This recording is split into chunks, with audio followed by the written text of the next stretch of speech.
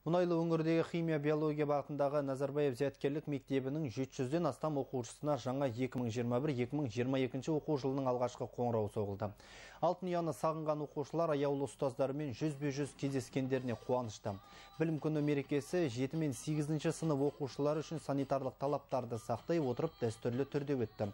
Жоғарғы сынып оқушылары мен ата-аналар шараны мектептің әлеуметтік желісінде тікелей эфирде қарауға мүмкіндік алды.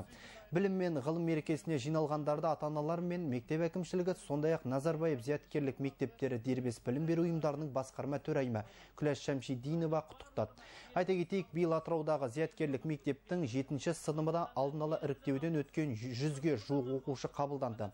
1200-ден астам үміткер бақ сынаған конкурстық саралау нәтижесінде ең жоғарғы ұпаймен Ділназ Нағым бастады. Ол бүгін 12 сынып оқушысымен бірге жаңа оқу жылының алғашқы қоңырауын салтанатты түрде соқты.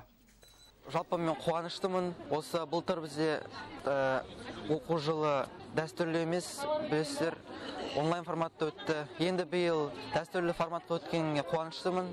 Барлық оқушыларға сабағын мықты оқуға тілектеспін